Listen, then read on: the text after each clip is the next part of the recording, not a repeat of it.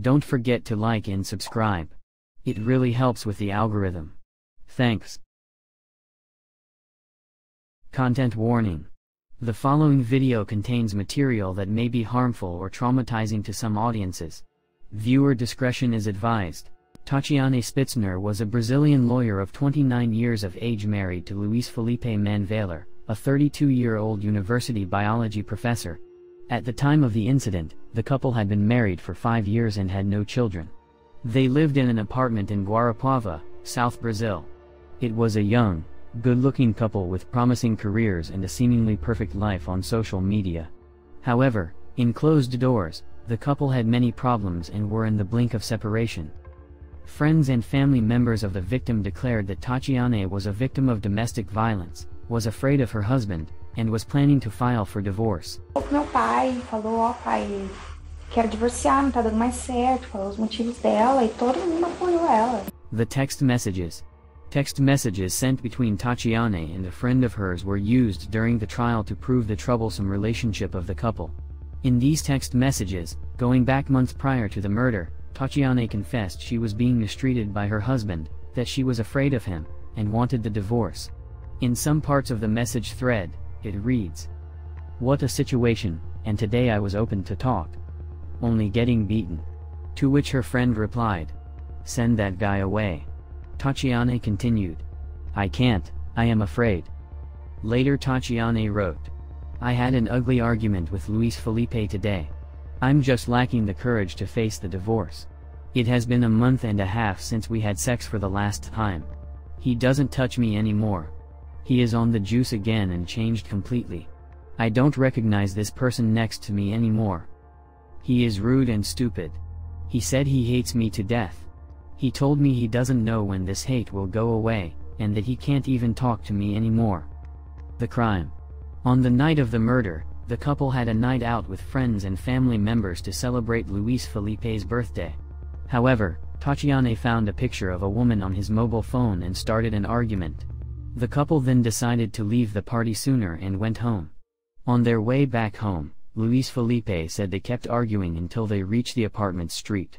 Then the argument escalated quickly from words to physical violence. The CCTV footage. These security footage are the last moments of Tatiane's life. At 2.34 am on the 22nd of July 2018, the couple arrived at the building of their apartment. The car stops in front of the building and the physical aggression starts while the couple is still inside the vehicle.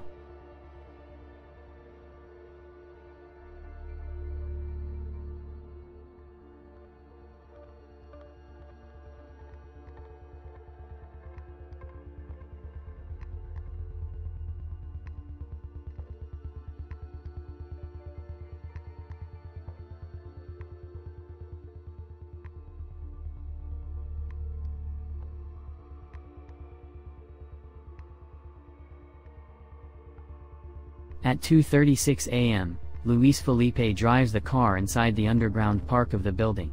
He stops the car, pulls Tatiane out of the vehicle, and proceeds to assault her again.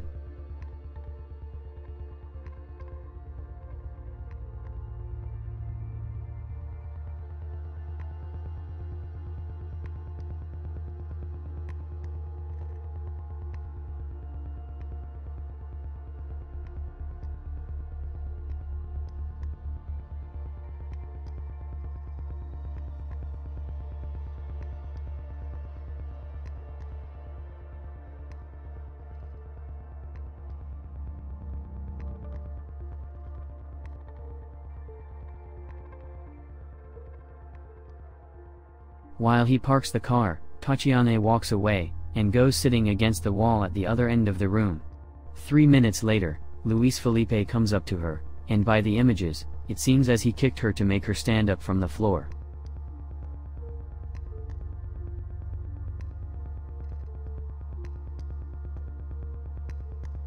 Then he pulls her up and goes away to call the lift. While he goes away, she hides from him behind a wall.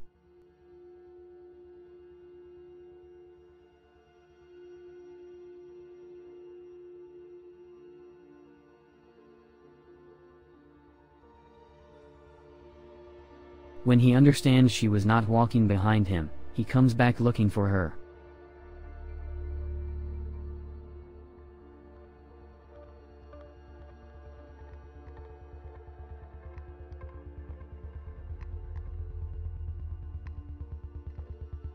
When he finds her, she tries to escape and runs in the direction of the lift.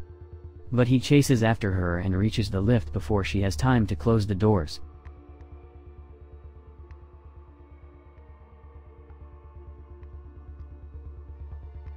Two forty a.m. Tatiana enters the lift and presses the button of the first floor. Luis Felipe comes right after, grabs her, and presses the button of the fourth floor.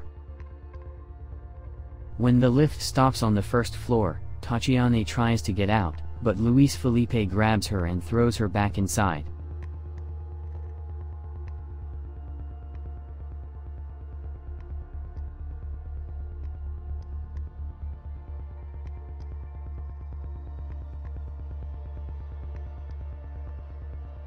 During the struggle, Tatiana hits with her head on the door of the lift.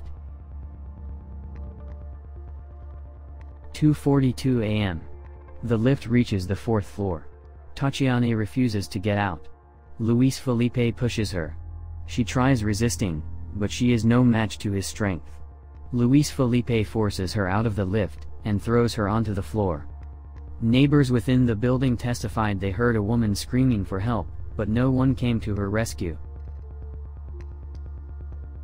There are no footages of the next 15 minutes, however, the evidences indicate Tatiana was beaten and strangled by Luis Felipe with his bare hands. Then Luis Felipe brought her body to the balcony and threw her to the street from a fourth-store high apartment to simulate death by suicide. At 2.57 am, the body of Tatiana Spitzner hits the pavement of the street.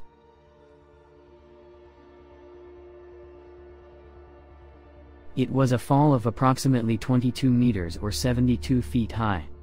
This recreation of the fall done with a dummy makes it easy to understand the true high from which her body fell. A minute later, Luis Felipe descends to the street and comes closer to the body. A neighbor across the street heard the commotion and testified he heard Luis Felipe shouting, My love! Wake up! The neighbor then crosses the street and comes near to see what happened. He sees the corpse on the pavement and Luis Felipe next to it. He runs back to his house to pick up the phone to call for help. While the neighbor went away, Luis Felipe grabs Tatiana and brings her to the entrance of the building. The neighbor returns with the mobile phone, and while he's calling the emergency number, he sees Luis Felipe carrying the corpse inside the building.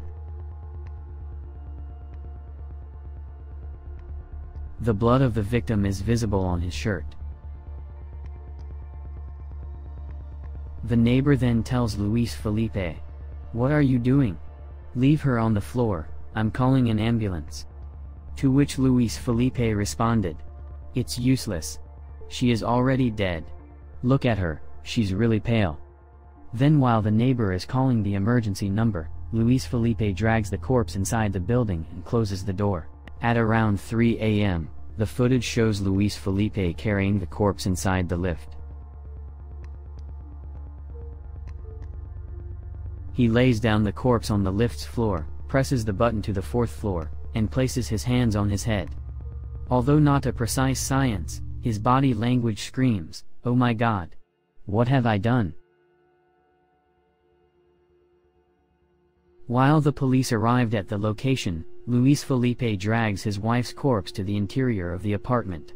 It was reported that he tried to change her clothes, probably in an attempt to remove DNA evidences, but he understood he had no time, so he exited the apartment and locked the door with the corpse inside. It is believed he acted this way to delay as much as possible the finding of the cadaver, and give himself more time to escape the crime scene. Five minutes later, at 3.05 am, Luis Felipe returns to the lift with a clean shirt and wipes out the bloodstains from the floor and the walls of the lift.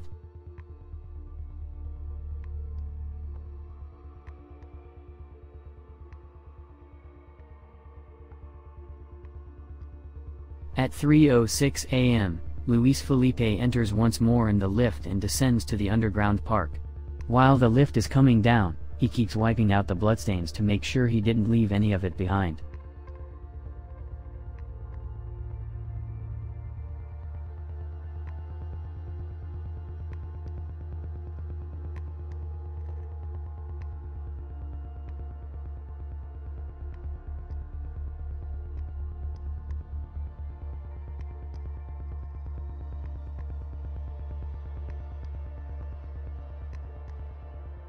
In the underground park, Luis Felipe grabs Tatiana's car and escapes the crime scene at 3.08 a.m.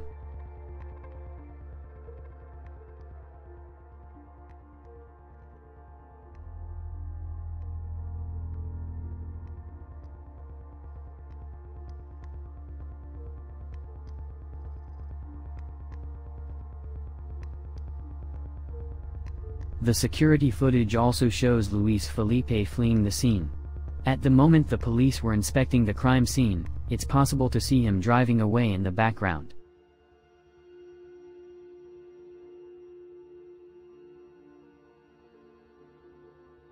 Apprehension. The police captured Luis Felipe after he fell asleep at the wheel of the vehicle, and ended up crashing the car on a motorway. This accident happened 340 kilometers or 211 miles away from the crime scene, and 50 kilometers or 31 miles away from the border of the country. Police believe he was trying to flee to the neighboring country of Paraguay. He was apprehended and arrested on suspicion of murder. When Luis Felipe was incarcerated, he was questioned regarding the car accident. Without being asked at all about the death of Tatiana Spitzner, he started talking about it and reiterated the fact that he was innocent. Body language alone is not enough proof to determine if someone is guilty or not. And I am glad that it is in this way because anyone put under the pressure of being accused of having done something serious can easily become nervous and start acting suspiciously. However, what Luis Felipe is doing in this interview is called over-explanation. It's a behavior that is often associated with someone who is guilty. Isso, eu bati o carro, porque devido à, situação, né? A, a, imagem da minha esposa pulando da sacada conseguiu na minha cabeça. Né? É, nós não vamos tratar do fato, tá? Tudo bem, é, então eu. Só com relação ao sinistro que o senhor se envolveu aqui. Bati então, estilhaços no meu antebraço. Tá. No braço. Uhum. Mas o senhor está bem? Precisou de atendimento médico? Está tranquilo? Não, atendimento, atendimento médico não. Não precisou? Não, não precisei nada. Tá bem. Agora, apesar de tudo que você passou, o senhor está tranquilo? Eu é. digo assim, fisicamente estável? Sim, fisicamente, sim, é, mas ainda fica martelando, né? A mesma imagem, porque eu sou inocente, eu amo muito. Investigation.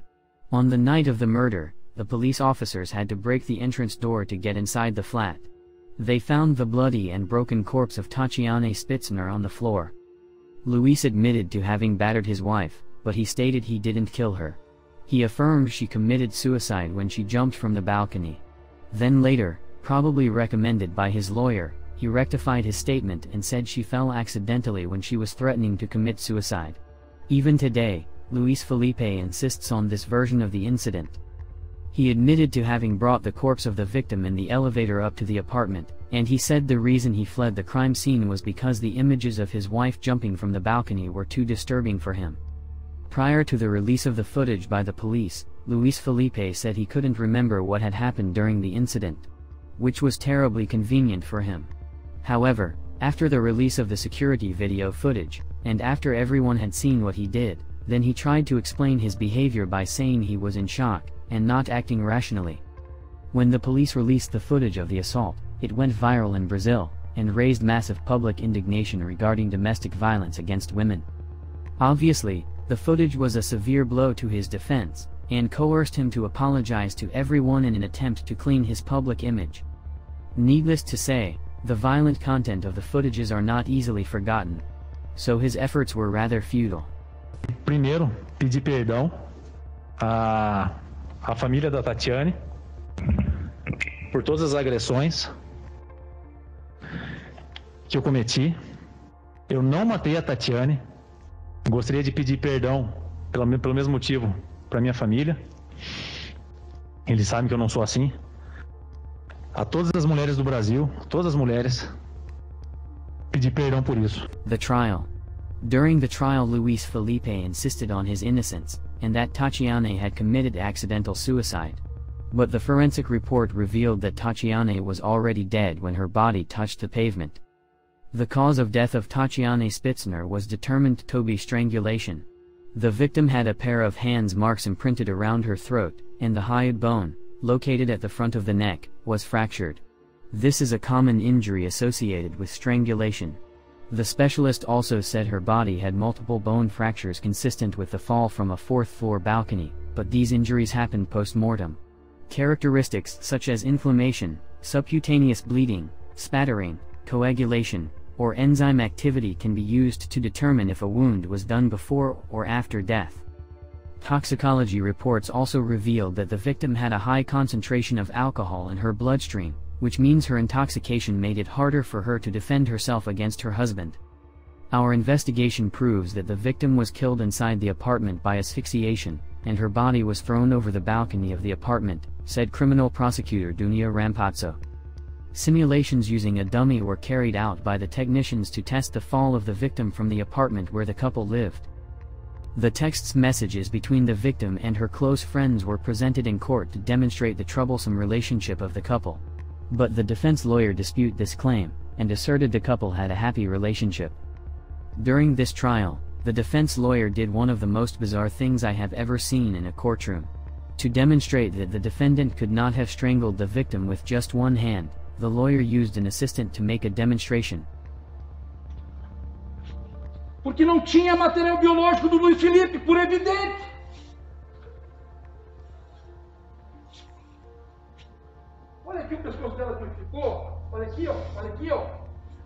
Que pegando aqui, ó, vai esticar, vai ter hemorragia.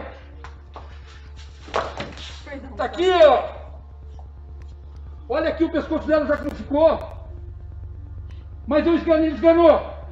Isso aqui, eu tô matando uma mulher. Você acha que esses colares não te teriam arrebentado? No entanto, The footage speaks volumes. I don't understand how come this bizarre demonstration was not immediately stopped, or the lawyer reprimanded by the judge. Handling with a roughness a woman to prove that you cannot kill her is utterly moronic. The lawyer's behavior was questioned by many, if not everyone. So later, the lawyer felt compelled to make a video to explain his actions. He said that it was nothing but a demonstration, and that no harm had been done to the assistant. However, and regardless of his explanations, a motion against him was sent to the Supreme Court of Ethics to investigate the case. The sentence. Luis Felipe Manvailer was sentenced to a 31 years in prison for the murder of his wife. The interview. Two years after his sentence, a Brazilian reporter interviewed Luis Felipe in the prison. Because of his living conditions, the stopping of exercising and using steroid cycles, and also because probably now he's using illegal substances to cope with life behind bars, Luis Felipe doesn't look like the same man anymore. The first thing that catches the eye is his physical appearance. The change that is more striking when compared with pictures before and after is his muscle mass and physical presence. If before he was the image of masculinity and physical strength, now he is the image of a broken man, visibly thinner, with his eyes caved in. In the case of Luis Felipe, even the morphology of his face changed radically. His jawline looks much smaller and weaker than before. Profiling. Despite his efforts to be seen as an innocent man, Luis Felipe sounded very little convincing. I was not inside that apartment to see what happened, but Luis Felipe's behavior screams guilty. 1. He kept insisting he was innocent even when he was not asked about it. An innocent man doesn't need to explain why he is innocent. 2. He did not call an ambulance or try to resuscitate his wife. He assumed straight away she was already dead, therefore there was nothing else to be done. 3. He moved the body from the crime scene and hid it from the police. 4. He changed his clothes and the clothes of the victim, probably planning to destroy DNA evidences. 5. He cleaned the blood from the crime scene. 6. He blocked the apartment's door to delay the police from finding the corpse to give him time to escape. 7. He fled the crime scene and tried to escape to a neighboring country. 8. His body language. Although not a perfect science. Does this look like a man who is innocent? Or a man who is guilty and terrified of the punishment he is about to receive? Aftermath The security footage of Luis assaulting his wife went viral and raised a large public condemnation against domestic violence in Brazil. Brazil has a dark history regarding violence against women. On average, 530 women report suffering from domestic violence every day, and in 2017, the year prior to the death of Tatiane Spitzner, 1,133 women victims of domestic violence died in Brazil at the hands of their spouses. If you are a victim of domestic abuse, please seek support in your local area. Even if there aren't any local organizations nearby, there are always international non-profitable organizations that might help. Enduring domestic violence in a relationship is never the solution, and the tendency is the violence to keep escalating to the worst. So make yourself a favor and seek help now. Tomorrow might be too late. Final thoughts. Although the images I showed in this video are blurred, they are still disturbing to watch.